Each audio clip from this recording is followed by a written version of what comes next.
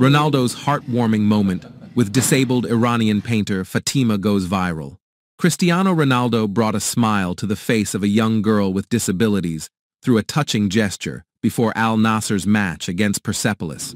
Ronaldo and his teammates are preparing to take on the Tehran-based team in their inaugural AFC Champions League group stage encounter on Tuesday night, and the team has been greeted with a warm and enthusiastic welcome.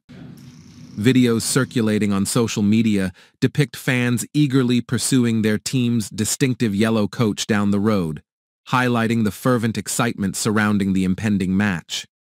In order to guarantee the team's security, local authorities heightened security measures around the team's hotel, and in a video shared on social media, the celebrated Iranian artist Fatimah Hamami, known for her outstanding artwork, had the honor of meeting Ronaldo.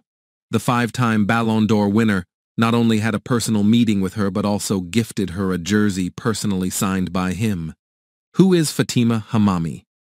Despite facing an 85% paralysis of her body, Fatimah showcased her remarkable talent in 2020 by creating an extraordinary portrait of Ronaldo using only her feet. In a video shared by ESPN FC, Fatimah was captured, putting the final touches on her awe-inspiring masterpiece.